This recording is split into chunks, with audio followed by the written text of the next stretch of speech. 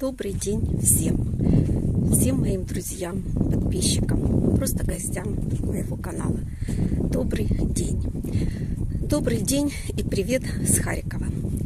Сегодня у нашего города, в городе Харькове, день рождения. И он припал, конечно, на непростое время. Нашему городу 368 лет. И всегда мы отмечали очень хорошо.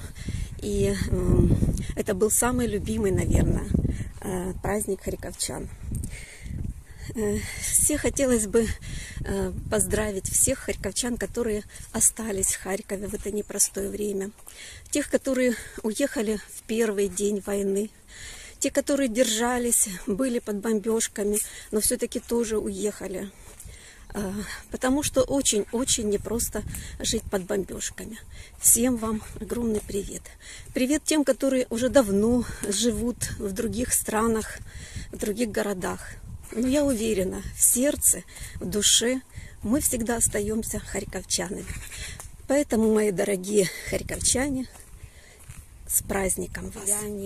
Э, были э, празднования возле мемориала, как всегда, да, э, были возле солдата возложения, потому что 23 августа или 23 серпня это еще и день освобождения Харькова от военно-фашистских захватчиков.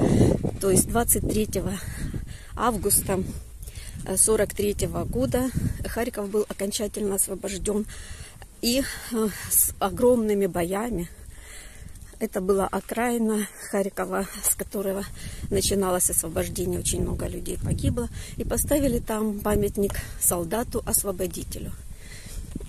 И харьковчане любят этот памятник, помнят э, освободителя воина и помнят, что такое Великая Отечественная война.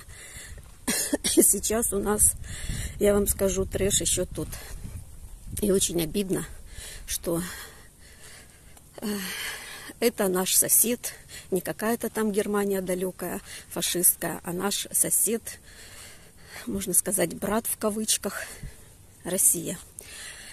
А, вот я хочу вам немножечко рассказать, какая у нас ситуация. То есть сейчас немножечко обострилась, обострилась ситуация. У нас комендантский час начинался с 10 вечера и до 6 утра.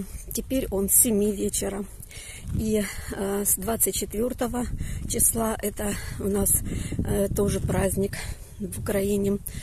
Незалежна Украина наша будет праздновать. Будет комендантский час в нашем Харькове. Целые сутки. Сутки и плюс еще ночь.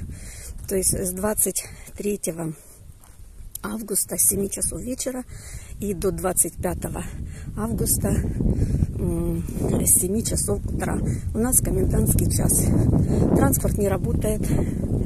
Э, на улицу выходить нельзя. Можно только выйти, покормить, э, выгулять собачек. Смотрите, какая красота.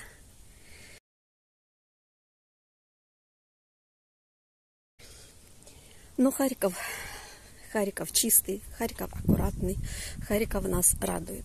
Сейчас я хочу немножечко, не хочу затягивать наше видео, а немножечко расскажу вот сегодняшнюю ночь. У нас каждый, каждый день идут сирены в течение дня, постоянные. У нас идут бомбежки, мы только слышим взрывы. Мы не слышим, где это. Вот. И сейчас я хочу вам, вот я специально выписала сегодняшнюю ночь. Но я хочу еще сказать, что сегодняшняя ночь была у нас более и менее спокойная. Это спокойная ночь. Вечером 21-21 воздушная тревога. Слышны э, взрывы, обстрелы. В, 23, в 21.53 отбой. 23.45. Взрывов в городе. Сирены не было, но взрывы были. Были слышны. А, в час 29. Воздушная тревога. А, в 2 часа 1 минута отбой. Обычно у нас всегда еще и в 4 часа обстрелы, взрывы. Сегодня я не слышала. 6 часов 32 минуты. Воздушная тревога, взрывы. В некоторых районах пропадает свет. В 7 часов 13 отбой. В 7 часов 20 минут тревога. В 7.34 отбой. И вот так у нас идет каждый день. То есть буквально не успел отбой, и через несколько минут опять тревога, и опять взрывы, и опять стрельба. Горят дома, погибают люди. Но Харьков выстоит. Харьков непобедим. Харьков не взять голыми руками, даже не голыми не взять. Всех еще раз с праздником. Всем удачи, мирной жизни, скорейшей победы нам, скорейшего нам мира. И напоследок вот такие вот цветочки я вам хочу подарить, мои дорогие.